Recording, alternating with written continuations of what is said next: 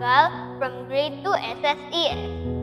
Today, I am going to tell you the story about the birth of Jesus. The Nativity Story, published by Brown Watson.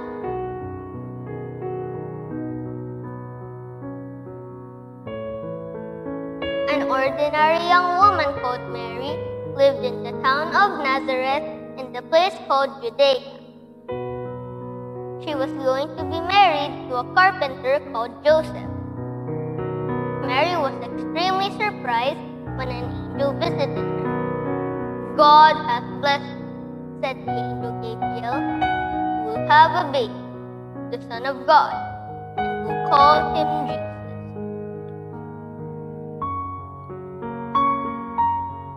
Joseph was worried about the news. He wondered if they shouldn't get married. An angel appeared and told him to go ahead with the wedding. Soon after, Mary and Joseph set off on a journey to Bethlehem. Everyone had been ordered to go to the town where they were born so they could pay their taxes and be counted. Mary was close to giving birth long and tiring. She traveled on a donkey through the dry and dusty land. They traveled slowly over the hills of Galilee and towards the town.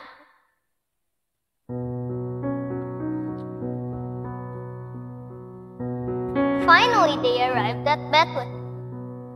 It was full of crowds of people who also had to pay their taxes. And Joseph tried to find a room where they could stay for the night. All the rooms were full, but the kind innkeeper said they could share the stable with his animals. It was warm and dry, but a bit smelly. That is where Mary had her baby. They wrapped the baby Jesus in clean cloth also swaddling and laid him in a manger full of hay. It was an unusual place to find the Son of God. The animals all watched him sleep peacefully. Close by, a group of shepherds sat in the hills, keeping their sheep safe through the night. A bright light appeared and an angel spoke to them. At first, they were frightened. I have great news, the angel. Son of God has been born and is lying in a manger in Bethlehem. You should visit him and give thanks to God. More angels appeared and lit up the night sky.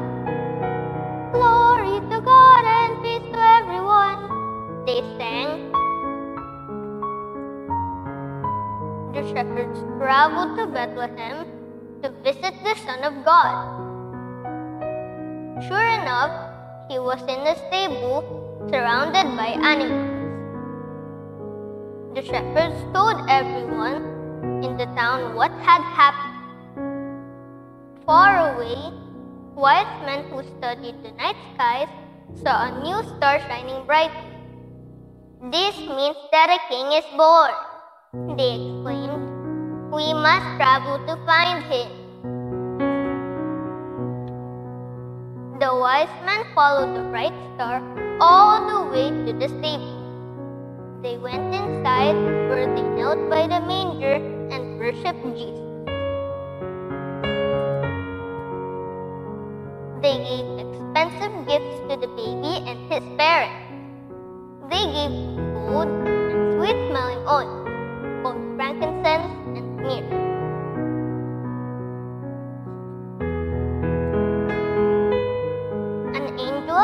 in the wise men's dreams.